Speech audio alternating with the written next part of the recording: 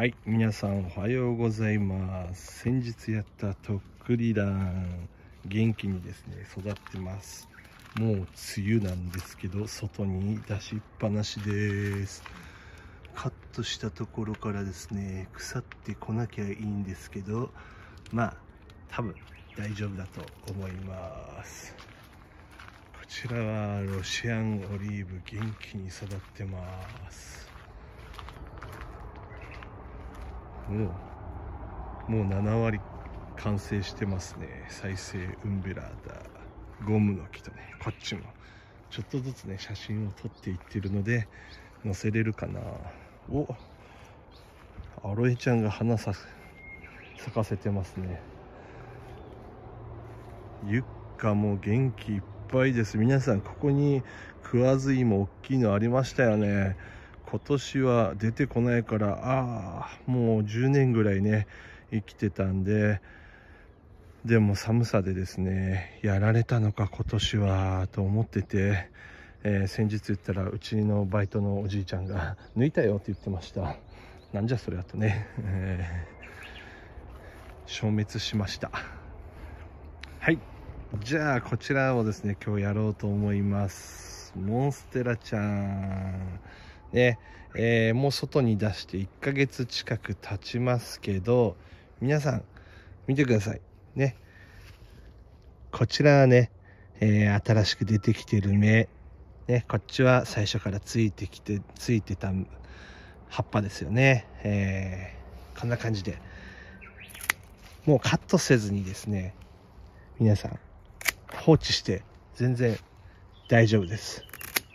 こういう風に新しい葉っぱと新芽はですね明確に分かれてきます。もうねほらこれはセロームですね。新芽が出始めました。こうなったら古い葉っぱはですねカットしていいです。焼けてるでしょ？ちょっと昨日までのね大雨でびしょびしょですけどもともと綺麗だった葉っぱのままですねバンと出したらあら柏葉ゴム。これもですね焼けてきてこうやってなります。もうちょっと新芽が出てきてからでもいいんですけどカットしてあちょうどいいや。こんな風にですねこれツピダンサスです。昨日カットしたんですけど曲がりのやつです。貝殻虫がねたくさんついてたんで葉っぱを全部落としました。こういう風にですねハゲ茶瓶にした方がいいですかどのくらい切った方がいいですかというコメントがあります。なかなかですね皆さん難しいと思います。そこで葉っぱをですねつけたまま皆さん出されても結構です。ねシェフレラこんな感じでドンと出していいです。そしてですね2週間3週間経ってくるともうちょっと早くてもいいか。新芽がねこうやって出始めます。そして新芽はね焼けません。今までついてた葉っぱは真っ黒焦げにね焼け始めます。なので明確に分かれ始めたところでですね焼けた葉っぱだけをこうやってカットしていってあげるといいです。ね。もうこれはもう使えないのでカットしていってあげてください。そしてねどんどん出てくる新芽だけをですね生かすようにするといいと思います。ウンベラータもです。そして何度も言いますけどウンベラータちゃんもう梅雨の雨に打たれてね元気いっぱいツヤツヤです。新芽のうちはですね茶色です。見てください。シーグレープもです。新芽の上はですね茶色です。これがね焼けてるとか勘違いされることもあります。そしてねギュッと詰まって出てくるんで普通のウンベラータよりはですねシワシワの状態がね出てきます。見てください。日光の力でねこの茎の間もね短いでしょ？これがですね病気と勘違いされてる方もいます。違うんです。これが正常な状態なんです皆さん。温室でですね育っているウンベラータは茎の間も長くてね葉っぱは大きいけどふにゃふにゃでパンパンパンパンと大きい葉っぱがついているウンベラータがほとんどだと思いますけどね見てください。ピラピラピラピラと小さい葉っぱがたくさんつきますよね。これもちろんね大きくなってきますよ。ね、成長してくるとこんな感じになってきます。だからですね皆さんしっかり管理して毎日見てください。あっという間にですね新芽吹いてきて大きくなっていきます。最初の段階はですねこういうちっちゃい葉っぱです。今年はですね葉っぱが小さいです。茎の隙間が短いです。どうしたらいいでしょうか？というコメントがねたくさん来てます。皆さん心配しないでください。それがね正常な状態日光を使っての観葉植物の再生です。ぎゅっと締まったね。植物が出来上がります。ゴムの木もです。見てください。ピカピカじゃないですか。これはですね皆さんチャレンジしてしっかりやられた方だけの太陽からのご褒美です。ね。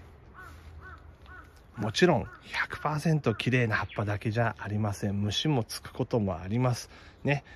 どうしても心配ならば、えー、こういうね新芽の時えー、信じられないという方はですね、カットしてもいいですよ。また違うね、葉っぱを育ててみてください。どんどん葉っぱ出てくるから、ちょっとね、入り組んでいるところは間引いてあげてもいいかもしれません。そしたらね、光が入ってまた下の葉っぱも育つので、その辺は自分たちのご判断でやってください。でもね、見てください。このぎゅうぎゅう詰まりのウンベラータ。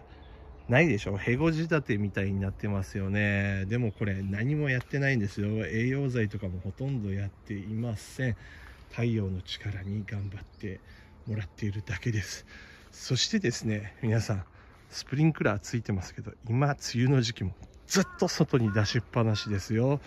雨が降り始めました。毎日雨が降り続けますけど中に取り込んだ方がいいでしょうか？というコメントも来ます。取り込まなくて結構です。そのままね出してください。梅雨の雨に打たれてね観葉植物観葉植物ちゃんたちとってもね喜びます。もともとはジャングルとかね外にいる植物たちですからねアフリカスコールとか打たれてパーとね新芽が出てくる映像あるじゃないですか。それと一緒です。是非梅雨の雨にはね打たせてあげてください。オーガスタも再生させてますけどこれはねちょっと時間がかかります。まだ新芽がね出てきません。もうしばらくすると出てくるかな。ほらもう今ね元の葉っぱは焼けてます。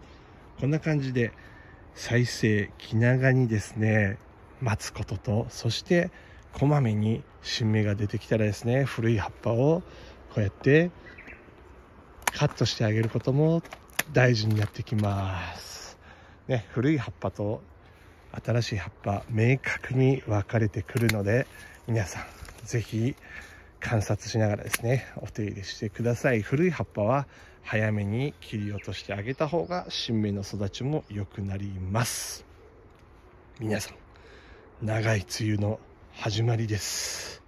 植物のね状態梅雨の時期が一番しっかり見てあげないといけません。湿度が高くなります。無駄にですね水をあげすぎて腐らせることもですけどそれを気にしすぎて水をあげなすぎてですね植物がしょんぼりになることもあります。皆さんの地域で最適な水の管理を探してやってください。僕はですねこのぐらいやってくださいということはできません。感覚を身につけるんです。皆さん頑張ってください。はいじゃあ今日はここまで。バイバーイ。